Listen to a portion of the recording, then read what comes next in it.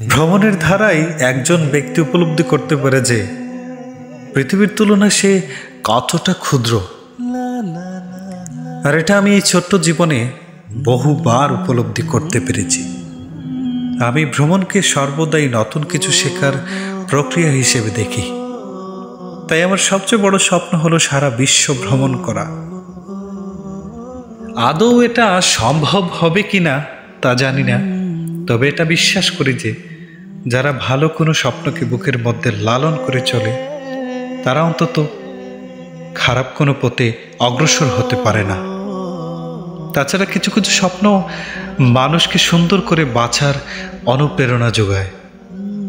তাই এবারও ব্যতিক্রম নয়।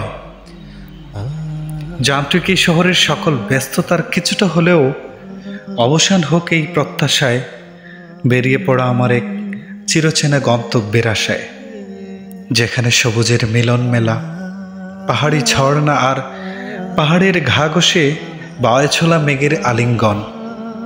শুধু অবাক চোখে তাকিয়ে দেখে লম্বা লম্বা প্রশান্তির নিঃশ্বাস নেওয়া যায়।